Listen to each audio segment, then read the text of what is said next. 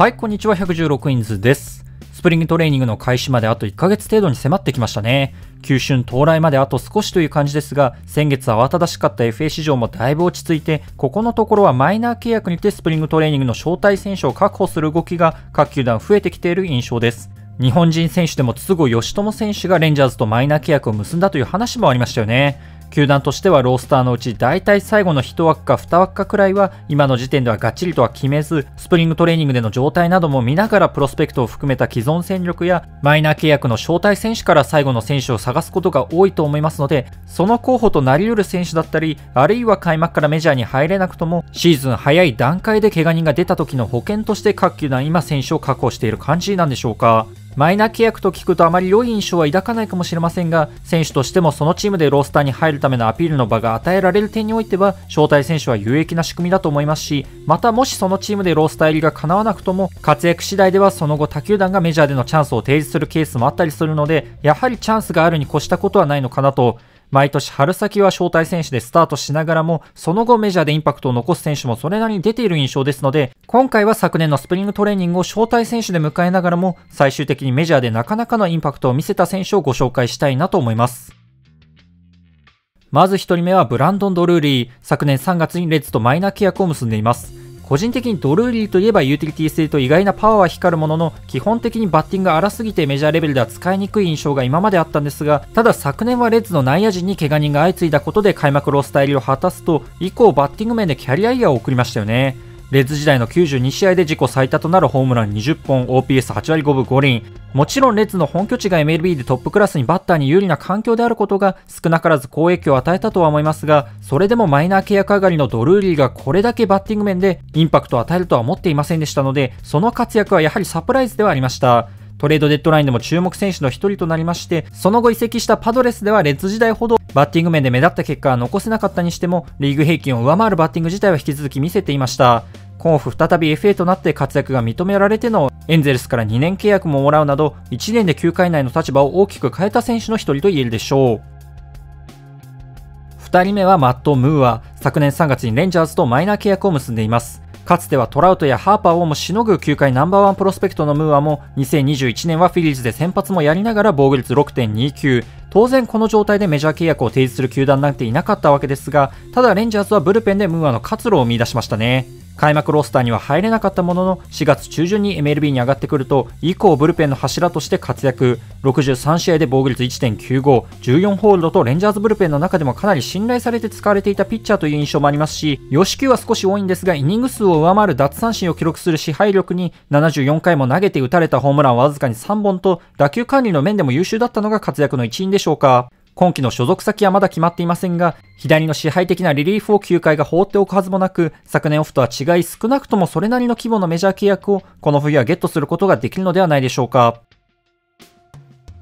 3人目はイエンシー・アルモンテ。昨年3月にドジャースとマイナー契約を結んでいます。アルモンテはもともとロッキーズのブルペンでブレイクの兆しを見せながらも2021年48試合に登板して防御率7.55とあまりに悲惨な成績を残してしまった結果42枠から外されてしまったんですがそんなピッチャーにドジャースが目をつけたのは理由がありましたねドジャースはアルモンテの投球スタイルをガラリと変え、彼の決め球であるスライダーを横方向の変化をより大きくなるよう改造し、またフォーシームに代わって高速進化を多く投げるようにさせたところ大ブレイク。右肘の張りで2ヶ月近く離脱した期間はあったものの、33試合で防御率は驚異の1.02、あっという間にドジャースブルペンに欠かせないピースへと成長していきました。これぞまさに掘り出し物という感じで、まあ、この辺りの才能を見出して改造して主力選手に成長させるのは本当にドジャースというチームはうまいですよね。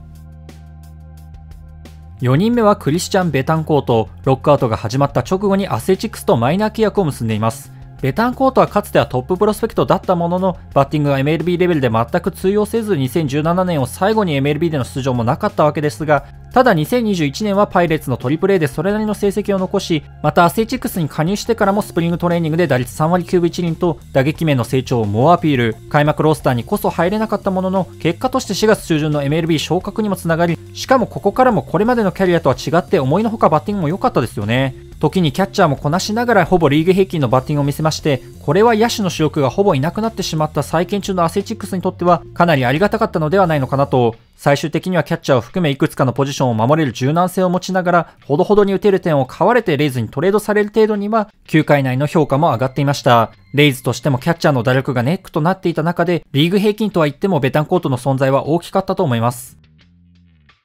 5人目はマット・カーペンター。昨年3月にレンジャーズとマイナー契約を結んでいます。昨年が36歳のシーズンでカージナルス時代の終わりには往年の打力が完全に失われているなど、もう終わった選手という見方の方が強く、スプリングトレーニングではあまり結果を残せなかったことから開幕はトリプル A スタート。ただこの辺りからオフの間から取り組んでいた打撃改造がようやくハマり始め、トリプル A では21試合で6ホーマーと意外なパワーを発揮するようになると、これに目をつけたヤンキースとメジャー契約、パワーが光り始めた左のベテラン選手とライト側が狭いヤンキースタジアムの相性は抜群で36歳ながら47試合でホームラン15本と驚異的なペースにてアーチを量産。一時は前世紀のバリー・ボンズ並みのハイペースでホームランを打っているなんて話もあったと記憶しています。自打球で足を骨折さえしていなければシーズン成績ももっと伸びていたかもしれませんが、マイナー契約から見事にキャリアを立て直したカーペンターは、この年にして今オフパドレスから実質的な複数年契約もゲット、終わった選手というイメージを大きく覆す1年ともなりましたね。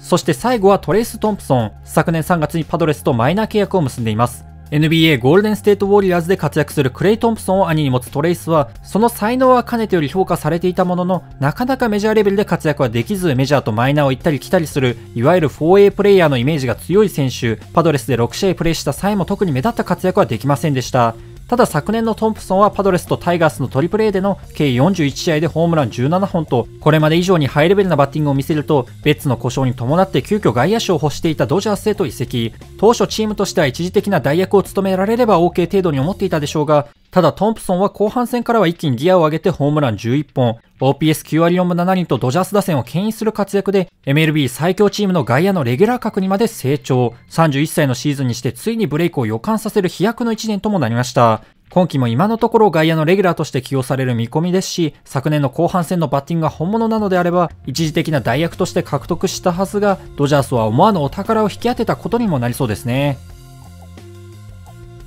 この辺りが昨年招待選手としてスタートしたうち結構インパクトを残した選手なのかなと思っていますがこう見るとマイナー契約の選手でも侮れませんよねドルーリーやムーアなどのようにマイナー契約を結んだチームでそのまま活躍するケースもあれば、カーペンターやトンプソンのようにもともとマイナー契約を結んだチームとは別のチームで後から活躍するケースもあったりと、活躍の仕方は様々といった印象です。今年もそういった選手は出てくるんですかね。まあ、これは個人的な願いではあるんですけれども、筒香選手がね、その一人となってくれると非常に嬉しいんですが、どうなるでしょうか。ということで今回の動画は以上としたいと思います。今後もですね、メルビーに関する動画上げていきますので、興味のある方ぜひチャンネル登録していただけると幸いです。それではご視聴ありがとうございました。